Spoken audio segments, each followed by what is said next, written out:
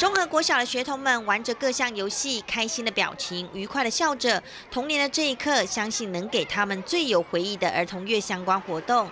为了让这一群国家未来的主人翁欢度儿童月，校方准备多项活动，要让他们能够用力的玩。就是今天是上下课的翻转，为了庆祝儿童节，让我们的孩子今天能够呃上下课翻转，让孩子呢能够开心一点。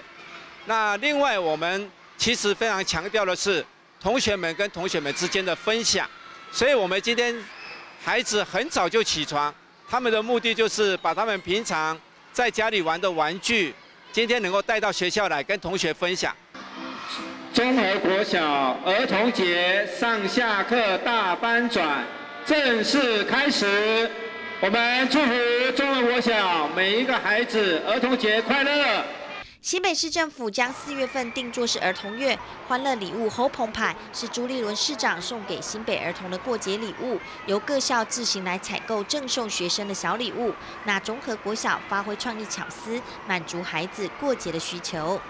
那当然在这里，我真的很感谢校方哈，以及学校的用心，不管是校长也好，或是我们各次数的主任，还有我们所有的老师，为了今天这一个节日，让小朋友呢排安排了这么多的活动。我知道今天一共大概我们有十个关卡，有十个活动的一个大的区域。那小朋友今天呢，可以尽情的欢乐。